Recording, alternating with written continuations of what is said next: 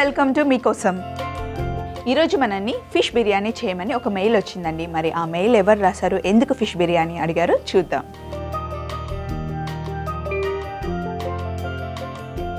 Hello స్వప్న గారు. Hello Ramya గారు. నేను బెంగళూరు నుంచి రాస్తున్నాను. మా వారికి నాన్ వెజ్ అంటే చాలా ఇష్టం. ఆయన కోసం నేను చాలా నాన్ వెజ్ వెరైటీస్ చేస్తూ ఉంటాను. ఈ మధ్య గుర్తొచ్చిన ప్రతిసారి ఫిష్ బిర్యానీ చేయొచ్చుగా అని అడుగుతూ ఉన్నారు. అది ఎలా చేయాలో నాకు తెలియడం లేదు. ప్లీజ్ నా కోసం ఫిష్ బిర్యానీ చేసి చూపించండి. కుక్ చేసి మా హస్బెండ్కి సర్ప్రైజ్ చేస్తాను అని రమ్య గారు నన్ను అడుగుతున్నారు. తప్పకుండా రమ్య గారు ఫిష్ బిర్యానీ నేను ఎలా చేయాలో చూపిస్తాను. యాజ్ ఇట్ ఈస్గానే నేను చేసినట్టు మీ ఆయనకి చేసి పెట్టండి. బాగా నచ్చుతుంది. అలాగే ప్రవళిక గారు కూడా నన్ను ఫిష్ బిర్యానీ చేసి పెట్టమని జస్ట్ ఒక లైన్ నాకు మెయిల్ రాశారండి. జస్ట్ నాకు ఫిష్ బిర్యానీ ఎలా చేయాలో అని మెయిల్ రాశారు. ప్రవళిక గారి కోసం రమ్య గారి కోసం ఈరోజు మనం ఫిష్ బిర్యానీ చేయబోతున్నాం. మరి ఫిష్ బిర్యానీ చేయడానికి ముందుగానే ఫిష్ని నేను క్లీన్ చేసి పెట్టుకున్నాను. ఇలా క్లీన్ చేసుకున్న ఫిష్లో మనం దీన్ని పక్కన పెట్టేసి ఫస్ట్ ఇందులో కొంచెం పసుపు నిమ్మరసం ఉప్పు వేసి కలిపి పెట్టుకోవాలి. ఉప్పు అలాగే నిమ్మకాయ.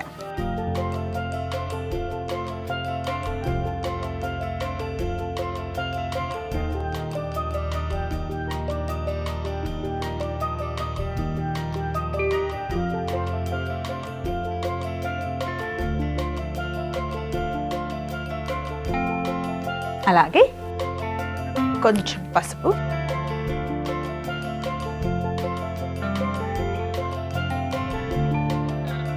ఉప్పు. మళ్ళీ మనం బిర్యానీలో కూడా వేయబోతాం కాబట్టి కొంచెం ఉప్పు వేసుకుంటే సరిపోతుంది. ఈ మూడు వేసిన తర్వాత బాగా కలుపుకోవాలి.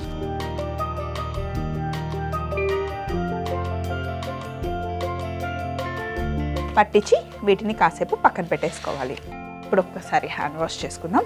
సో ఇప్పుడు మనం ఫస్ట్ ఏం చేయాలి అంటే స్టవ్ ఆన్ చేసి ఇందులో నీళ్ళు వేసుకోవాలి. అన్నం ఉడకబెట్టుకోవడానికి నీళ్ళు వేడిగా ఉండాలి కదా. అయితే రెగ్యులర్గా మనం రెగ్యులర్ బిర్యానీ చేసుకున్నట్టుగానే బాస్మతి బియ్యం కడిగి పెట్టుకున్నాను నేను. బాస్మతి బియ్యం అయితేనే బిర్యానీకి చాలా బాగుంటుంది. గిన్నెలో నీళ్ళు వేసి పెట్టుకున్నాను. అలాగే ప్యాన్ తీసుకొని నేను ఈజీగా బిర్యానీ ఎలా చేయాలో ఈరోజు చూపిస్తాను.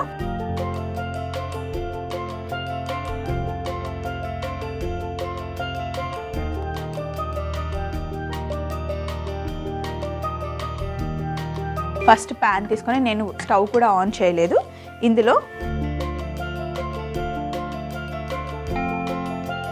ఫస్ట్ టమాటాలు ఒక రెండు టమాటాలని నేను మిక్సీలో వేసి ఇలా పేస్ట్ చేసుకున్నాను. పేస్ట్ చేసుకున్న టమాటాలు. జనరల్గా మనం బిర్యానీ అంటే పెరుగుతోనే చేస్తాం. కానీ టమాటాతో చేస్తే కూడా చాలా చాలా బాగుంటుంది. ఇప్పుడు నేను చూపించేది డిఫరెంట్ వెరైటీ. చాలా చాలా టేస్టీగా ఉంటుంది. ఈజీగా కూడా అయిపోతుంది. రమ్య గారు అండ్ ప్రవళిక గారు ఇప్పుడు నేను చూపించినట్టు ట్రై చేయండి. అలాగే అల్లం వెల్లుల్లి పేస్ట్. ఎప్పుడైనా సరే నాన్ వెజ్ వండేటప్పుడు కొంచెం అల్లం వెల్లుల్లి పేస్ట్ ఎక్కువ వేస్తేనే బాగుంటుంది. ఇందులో అల్లం వెల్లుల్లి ముద్ద అలాగే ముందుగానే ఫ్రై చేసి పెట్టుకున్న ఆనియన్స్ ఉల్లిపాయలు. కొంచెం లాస్ట్కి పెట్టుకుందాం పైన బిర్యానీ పైన వేసుకోవడానికి. అలాగే కరివేపాకు.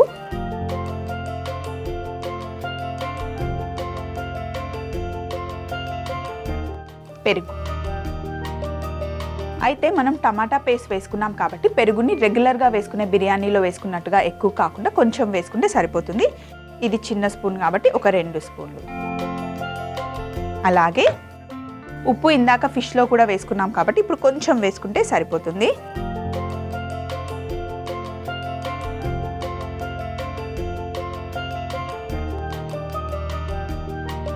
కారం. కారం మీ రుచికి సరిపడా మీరు నాన్ వెజ్లో కొంచెం ఎక్కువగా కారం తింటానంటే కొంచెం ఎక్కువ వేసుకోండి. బట్ నేను మటుకి ఇప్పుడు మీడియంగా చేస్తున్నాను.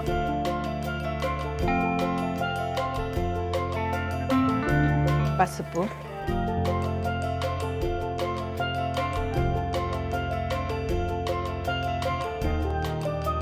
అలాగే ఇందులో మనం గరం మసాలా వేసుకోవాలి.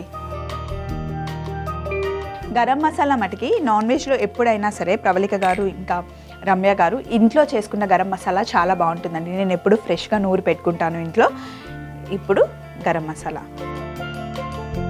ఒక చిన్న స్పూన్ గరం మసాలా. ఇంట్లో చేసుకున్న గరం మసాలా కొంచెం ఘాటుగా ఉంటుంది కాబట్టి కొంచెం తక్కువ వేసుకుంటే బాగుంటుంది. అలాగే ఇందులోనే కొంచెం సన్నగా తరుకున్న పుదీనా అలాగే సన్నగా తరుకున్న కొత్తిమీర కూడా వేసుకోవాలి. అలాగే కట్ చేసి పెట్టుకున్న పచ్చిమిర్చి.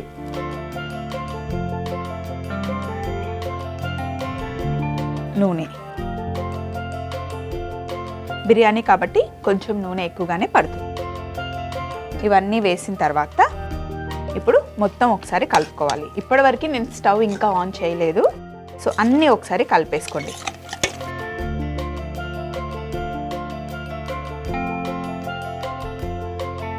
ఇవన్నీ కలుపుతూ ఉంటేనే మంచి సువాసన వస్తుంది. బాగా కలుపుకున్న తర్వాత కొంచెం నిమ్మరసం కలుపుకుందాం.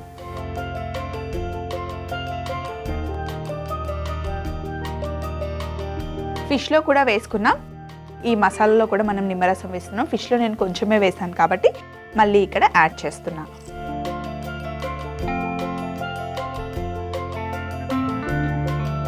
ఇవన్నీ కలుపుతూ ఉంటేనే మంచి సువాసన వచ్చేస్తుంది మనకి. అన్నీ కలుపుతుంటే మనకి అర్థమైపోతుంది. అన్ని ఐటమ్స్ మనం కరెక్ట్గా వేసామని చెప్పి. ఒకసారి అన్నీ కరెక్ట్గా మిక్స్ చేసుకున్న తర్వాత ఇప్పుడు లాస్ట్లో మనం స్టవ్ ఆన్ చేసుకోవాలి.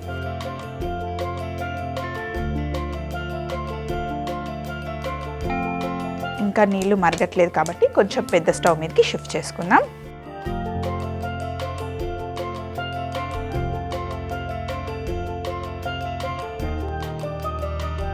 ఇప్పుడు మసాలాలన్నీ కలుపుకున్న తర్వాత మూత పెట్టేసి ఒక పది నిమిషాలు చిన్న మంటలో మెల్లిగా ఉడకపెట్టుకోవాలి.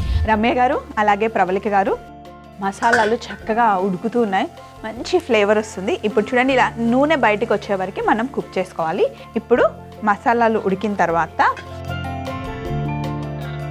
ఇప్పుడు ఫిష్ని మనం ఈ మసాలాలో వేసుకోవాలి.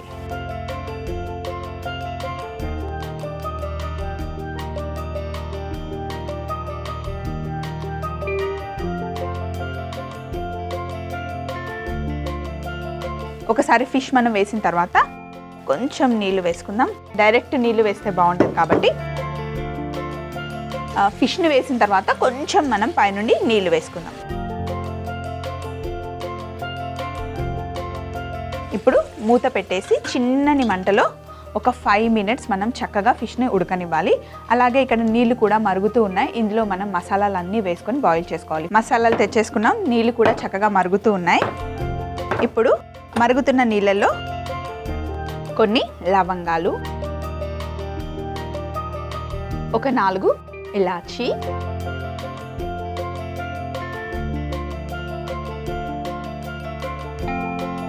సాజీరా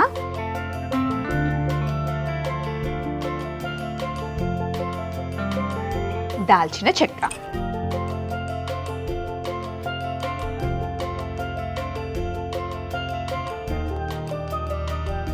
అలాగే ఉప్పు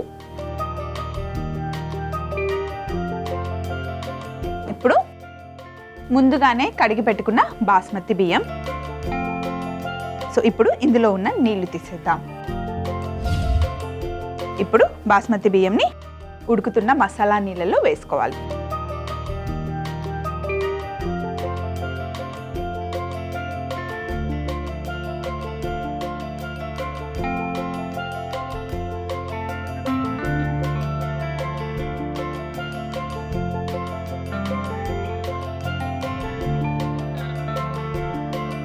ఒక్కసారి బాస్మతి బియ్యం వేసిన తర్వాత కొంచెం మెల్లిగా కలుపుకోవాలి.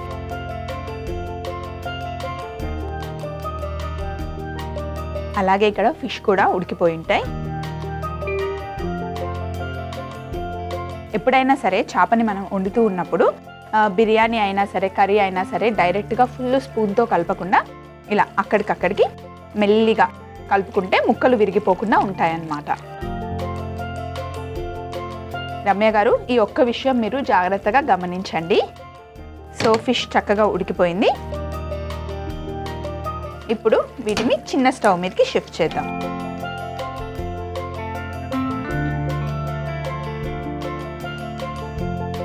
అలాగే అన్నంని కొంచెం పెద్ద బంట పైన ఉడకబెట్టుకుందాం. తొందరగా అయిపోతుంది.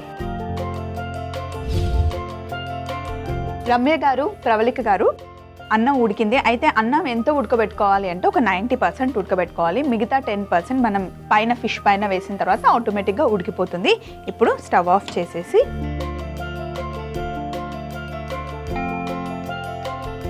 డైరెక్ట్గా ఉడకపెట్టుకున్న బాస్మతి అన్నంని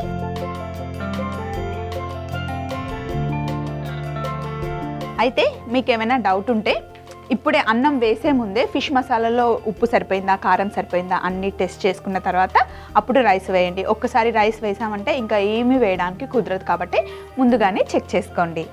సో రైస్ని ఇలా పరుచుకుంటూ వేసుకోవాలి.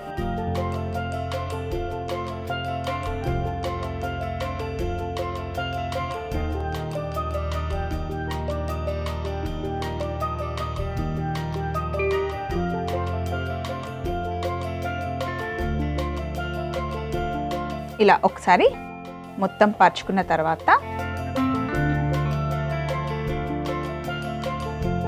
పైనుండి కొంచెం నెయ్యి.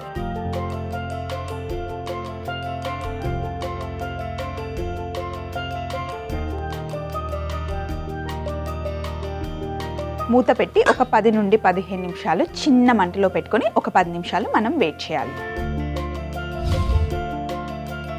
రమ్య గారు ప్రవళిక గారు ఫిష్ బిర్యానీ రెడీ అయిపోయిందండి. స్టవ్ ఆఫ్ చేసిన వెంటనే వడ్డించుకోకుండా ఒక పది నిమిషాలు తర్వాత వడ్డించుకుంటే బాగుంటుంది. ఫిష్ బిర్యానీ తయారీ విధానం మరొకసారి చూడండి. ఫిష్ బిర్యానీ తయారీ విధానం. ముందుగా ఫిష్ ముక్కలు తీసుకొని అందులో నిమ్మరసం పసుపు సరిపడా ఉప్పు వేసి బాగా కలుపుకొని పక్కన పెట్టుకోవాలి. తరువాత ఒక గిన్నె పొయ్యి మీద పెట్టుకొని సరిపడా నీళ్ళు పోసి మరిగించుకోవాలి.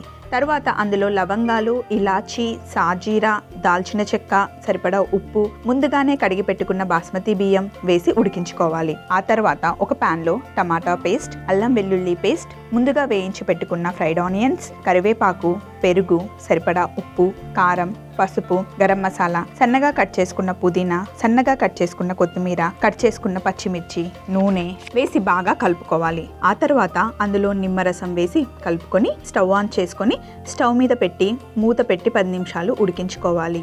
తర్వాత అందులో ముందుగా కలిపి పెట్టుకున్న ఫిష్ ముక్కలు వేసి కొంచెం నీళ్ళు పోసుకొని మూత పెట్టి పది నుండి పదిహేను నిమిషాలు ఉడకబెట్టుకోవాలి. ఆ తర్వాత ముందుగానే ఉడుకుతున్న బాస్మతి అన్నంని పైన పరుచుకొని దానిపై నుండి కొంచెం నెయ్యి వేసి మూత పెట్టి పదిహేను నుండి ఇరవై నిమిషాలు ఉమ్మగిల్లనిస్తే ఫిష్ బిర్యానీ రెడీ. ఇప్పుడు మనకి నెక్స్ట్ లెటర్ ఎవరు రాశారు? ఏం చేయమంటున్నారో? చూద్దాం.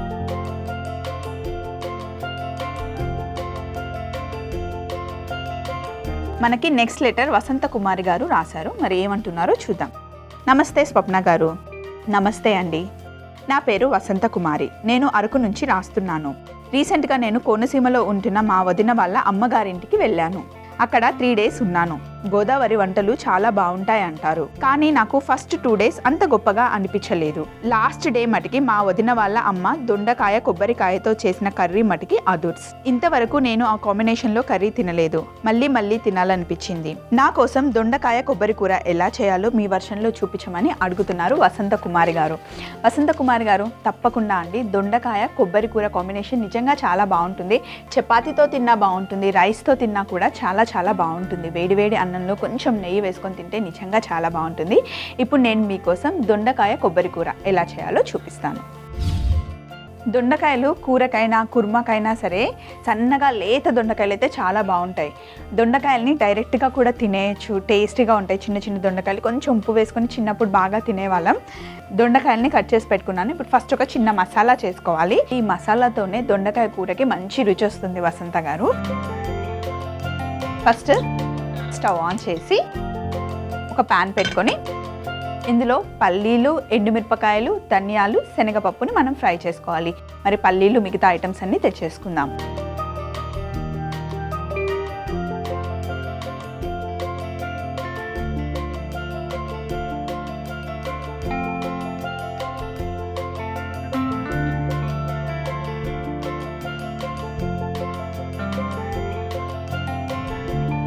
కొంచెం ప్యాన్ వేడైన తర్వాత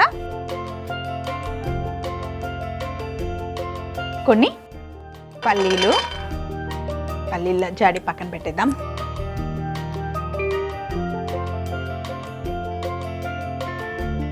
అలాగే ఎండుమిరపకాయలు.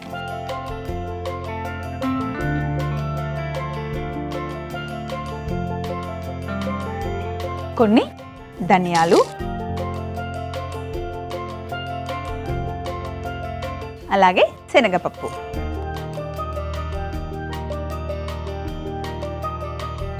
కొంచెం మంచి కలర్ వచ్చే వరకు వేపుకోవాలి. పల్లీలు కూడా చక్కగా కలర్ వచ్చాయి కదా? కొంచెం మంట చిన్నగా పెట్టేసి వీటిని కాసేపు పక్కన పెడదాం. కొంచెం చల్లగా అవ్వాలి. అలాగే ఒక కడాయి తెచ్చుకుందాం.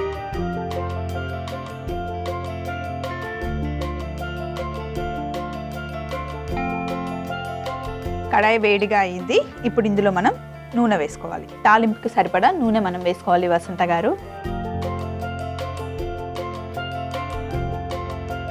మళ్ళీ పోపు డబ్బా తీసుకొని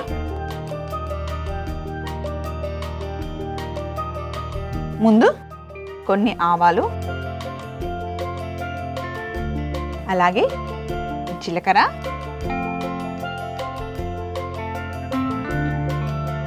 ఒక రెండు ఎండుమిరపకాయలు కరివేపాకు కావాలి.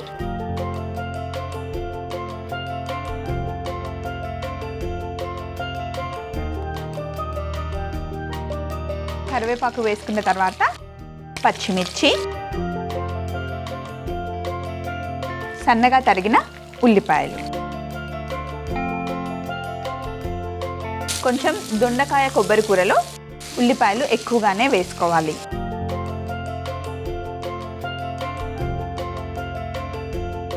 కూరకి సరిపడా ఉప్పు కూడా వేసుకోవాలి.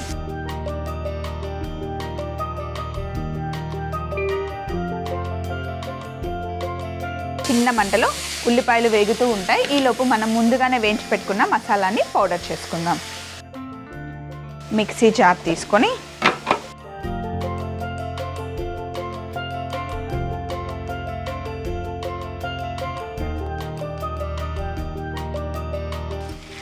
మరి సన్నగా కాకుండా కొంచెం పలుకుగా మనం మిక్సీ పట్టుకోవాలి. నేను వెళ్ళి మిక్సీ పట్టుకొని వచ్చేస్తా.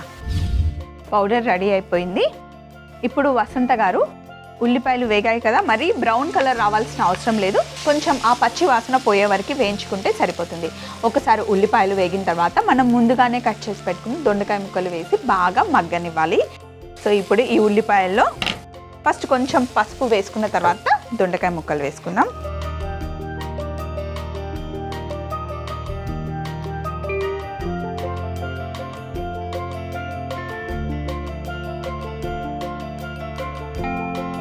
ఒకసారి పసుపు వేసి కలుపుకున్న తర్వాత ముందుగానే కట్ చేసి పెట్టుకున్న దొండకాయ ముక్కలు.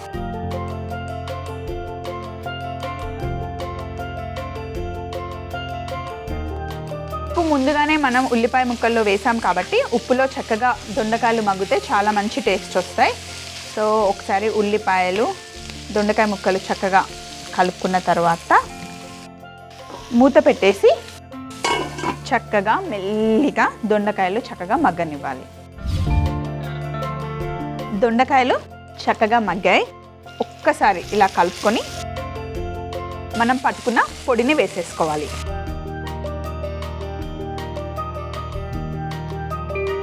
పౌడర్ వేసుకున్న తర్వాత సన్నగా తరిగి పెట్టుకున్న పచ్చి కొబ్బరి.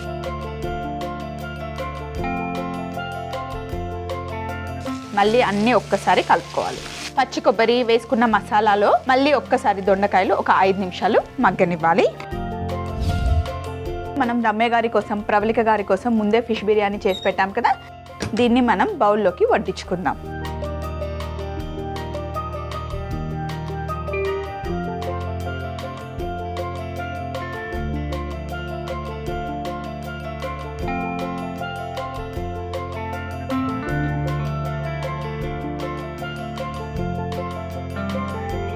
రైస్ చూడండి ఎంత పర్ఫెక్ట్గా ఉందో.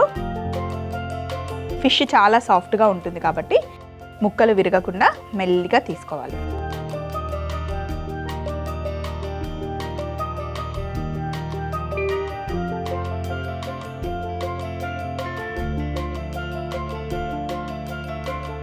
ఇలా బౌల్లోకి తీసుకున్న తర్వాత కొత్తిమీర అలాగే ఫ్రైడ్ ఆనియన్స్ వేస్తే చాలా బాగుంటుంది.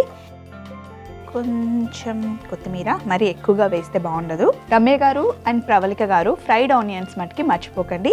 పైన ఇలా వేస్తే చూడడానికి చాలా బాగుంటుంది. మధ్య మధ్యలో తింటూ ఉంటే కూడా చాలా బాగుంటుంది. ఫిష్ బిర్యానీ బౌల్లోకి తీసుకున్నాం కదా ఇప్పుడు దొండకాయ కొబ్బరి కూర కూడా ఒక బౌల్లోకి తీసేసుకుందాం. దీన్ని వెనకాల పెట్టేస్తాను. ఈ బౌల్లో దొండకాయ కర్రీని వడ్డించుకుందాం. మూత తీసేసి దొండకాయ కొబ్బరి కూరని కలుపుకోవాలి. స్టవ్ ఆఫ్ చేసేసుకొని కొంచెం బరువుగా ఉంటుంది కడాయిని దగ్గరగా పెట్టుకుందాం.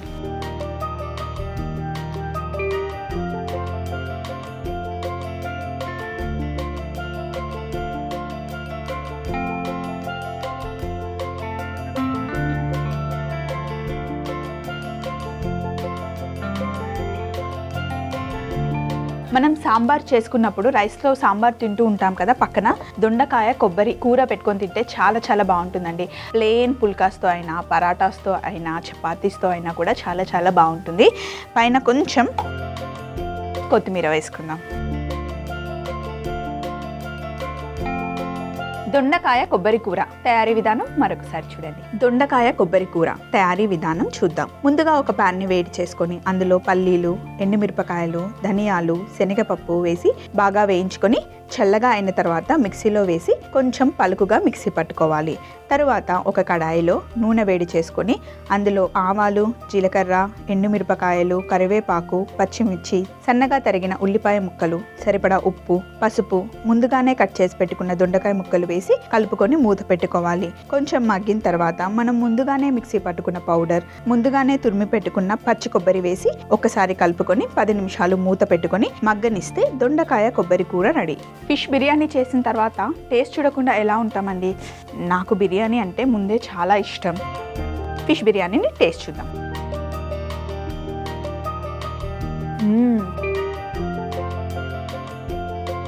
చాలా చాలా బాగుంది రమ్య గారు అలాగే ప్రవళిక గారు. ఎప్పుడు మీరు పెరుగుతో బిర్యానీ చేసి ఉంటారు అయితే టమాటాతో చేయండి. నేను ఈరోజు చూపించాను కదా టమాటా పేస్ట్ వేస్తే చాలా బాగుంటుందండి బిర్యానీలో.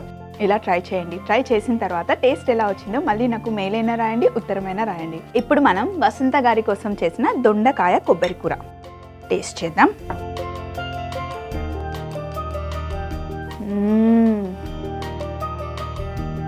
అబ్బా ఎంత కమ్మగా ఉందో. ఇలాగ డైరెక్ట్గా కూర తినేసేలా ఉంది చాలా చాలా టేస్టీగా ఉంది. ఈ కూరని నేను డిన్నర్కి చపాతీతో తింటాను. వసంత గారు మీరు అడిగినట్టుగానే దొండకాయ కొబ్బరి కూర చేసి చూపించాను కదండి. చాలా సింపుల్ అండి. మీరు కూడా ఇంట్లో ట్రై చేయండి. ఇలాగే వస్తుంది. చేసిన తర్వాత టేస్ట్ ఎలా ఉందో మళ్ళీ నాకు మెయిల్ చేయండి. మరి చూసారు కదండి వసంత గారి కోసం దొండకాయ కొబ్బరి కూర వండాం. అలాగే రమ్య గారు ప్రవళిక గారి కోసం ఫిష్ బిర్యానీ. రెండు మంచి రెసిపీస్ తప్పకుండా ట్రై చేయండి.